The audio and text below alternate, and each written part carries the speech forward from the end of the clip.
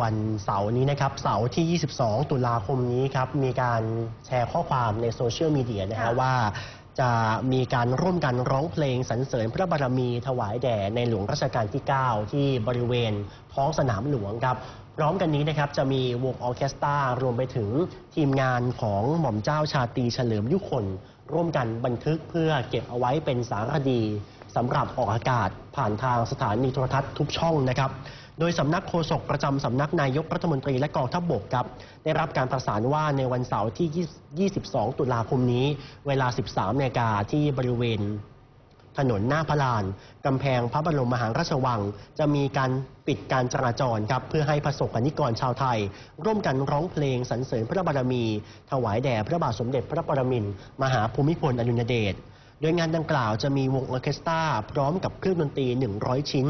จากสยามฟิลฮาร์โมนิกออเคสตราและมีคอรัส 100 คน โดยจะมีอาจารย์สมเถาสุจริตกุล เป็นวาทยากร บรรเลงเพลง และประสานเพลง รวมทั้งจะมีการบันทึกเพลงนะครับ บันทึกเสียงเพลงที่ประชาชนร้องแบบสดๆ ที่บริเวณท้องสนามหลวง โดยทีมงานของท่านมุ้ย หรือหม่อมเจ้าชาตรีเฉลิมยุคน มาร่วมถ่ายทำและบันทึกภาพในงานครั้งนี้ ก่อนที่จะมีการนำออกฉายในโรงภาพยนตร์ทั่วประเทศ และผ่านทางสถานีโทรทัศน์ต่างๆ ซึ่งพี่น้องประชาชนชาวไทยก็สามารถที่จะเข้าร่วมงานได้ครับ โดยไม่มีค่าใช้จ่าย ซึ่งทางคณะผู้จัดการ ก็จะขอให้พี่น้องชาวไทยร่วมกันรวมพลังเปล่งเสียงร้องเพลงสดุดีพระบาทสมเด็จพระปรมินทรมหาภูมิพลอดุลยเดช ระองค์ผู้เป็นที่รักและเคารพสักการะของปวงชนชาวไทย โดยขอให้ประชาชนที่จะมาร่วมงานแต่งกายด้วยชุดสีดำสวมรองเท้าแบบสุภาพ และพบกันก่อนเวลา 13นาฬิกาที่บริเวณหน้าพระลาน พระบรมมหาราชวัง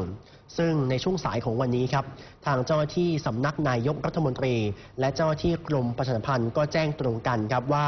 การร้องเพลงสรรเสริญพระบารมีที่บริเวณ หน้าพระบรมมหาราชวังขนาดนี้ยังไม่มีกำหนดที่แน่นอน แต่ว่าจากการสอบถามหม่อมราชวงศ์ศรีคำรุ้งยุคน รัตกุลธิดาคนโตของท่านมุ้ยก็ได้รับการยืนยันครับว่าจะมีการจัดงานดังกล่าว ในวันเสาร์ที่ 22 ตุลาคมนี้ เวลา 13นาฬิกาอย่างแน่นอนครับ